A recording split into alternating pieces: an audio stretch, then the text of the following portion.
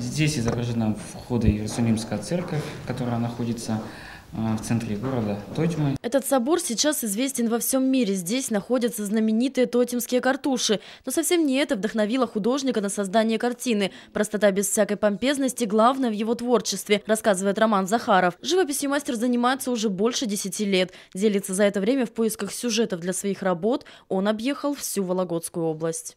Я здесь родился, мне нравится и, жить здесь, и я здесь и учился, и работаю, и поэтому э, именно хотелось показать не те помпезные дворцы или какие-то архитектурные большие сооружения, а именно показать то, что есть у нас, то, что вот это северное, может не такое яркое, но в то же время тоже интересное. Свою 15-ю выставку, которая открылась в Музее «Мир забытых вещей», Роман назвал символично «Северная палитра». Ведь на экспозиции представлены полотна, отражающие всю красоту нашей области. От знакомых всем городских улочек до далекой увядающей деревни. Всего более 30 работ. На протяжении многих лет э, к Татьяниному дню, к 25 января, э, мы радуем Татьян и вообще Волокжан новыми выставками э, в залах третьего этажа. В этом году э, мы открываем выставку Романа Захарова «Северная палитра».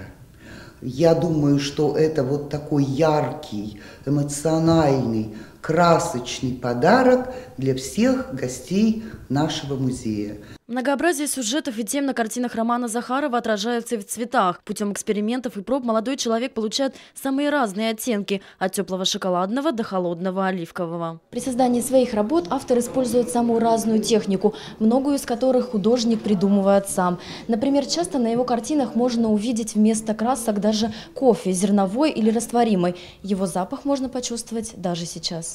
Первая персональная выставка мастера прошла еще в 2009 году. Тогда молодой человек только закончил профессиональное училище народных промыслов. Причем обучался Роман сразу по нескольким специальностям. Художник росписи по дереву и художник росписи по ткани. Последнее одно из самых любимых направлений в творчестве, рассказывает Волокжанин. Он часто украшал красками даже декорации для детских спектаклей, а в свободное время расписывал одежду. Теперь свое мастерство художник передает детям.